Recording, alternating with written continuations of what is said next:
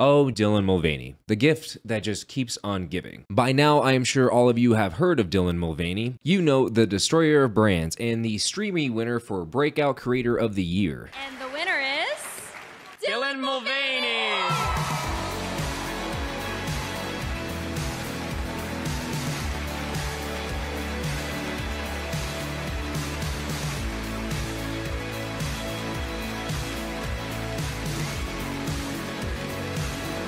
My god!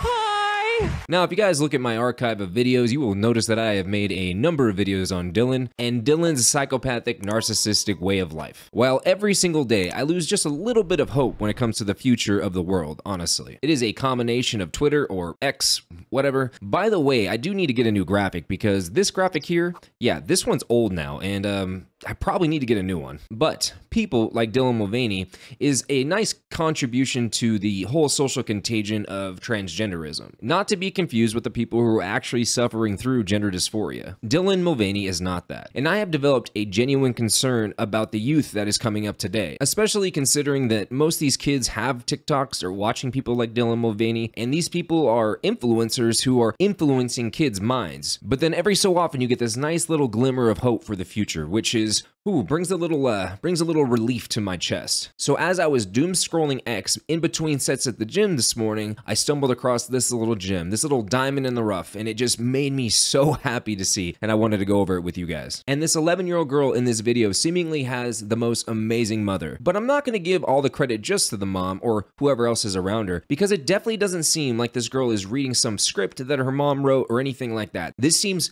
very genuine. This girl definitely has a mind of her own and a bright future ahead of her if she keeps this going. But of course, this is completely contrasted by many of the other videos you've seen of parents to trans kids that are clearly reading some kind of script. So let's go ahead and hop into this video and uh, let's see what's all about. Okay, so what were you saying you heard about Dylan Mulvaney? that he's trying to give birth and that he's a lesbian.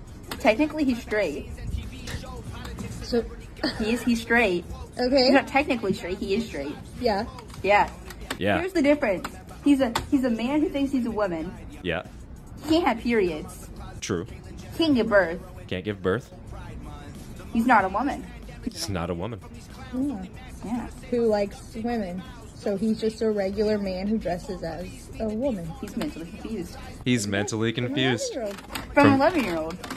okay, so what were you saying you heard about Dylan Mulvaney? That he's trying to give birth and that he's a lesbian. You have to admit, that was really well said. I am really happy to see this. It really lets me know that not all is lost and that there is some hope for the future. But of course, I want to know what you guys think, so leave those comments in the comment section down below. Don't forget to hit the like or the dislike button, subscribe to the channel, hit that notification bell so you get notified every time I post a new video. And I will see you guys in the next one.